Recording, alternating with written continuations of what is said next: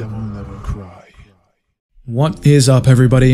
It is me Devil Never Cry and we are back with another DMC video and as the title of today's video suggests there is some more news on DMC Peak of Combat. For those of you who don't know DMC Peak of Combat is a mobile game said to be a retelling of DMC3's story.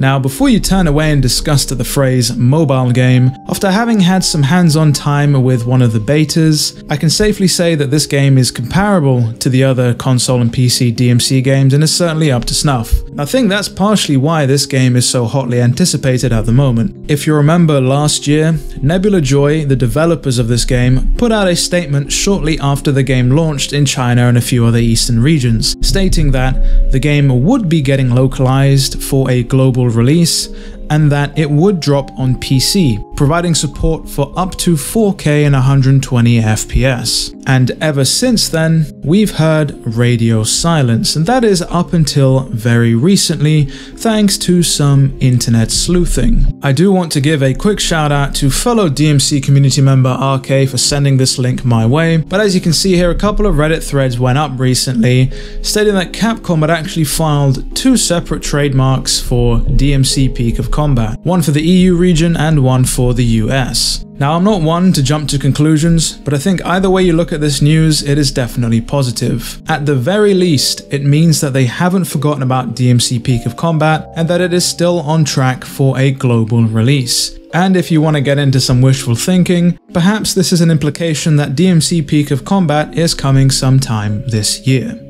Regardless of the wait, I'm still looking forward to getting hands-on with DMC Peak of Combat when it eventually comes to PC. Let me know your thoughts down in the comments below. Perhaps some of you know more than trademarks about me. Of course, if you enjoyed today's video, do be sure to leave a like and consider subscribing as it all helps out the channel. With all that said and done, it has been me, Devil Never Cry. I'd like to thank all of you for watching, and as always, I'll see you all next video.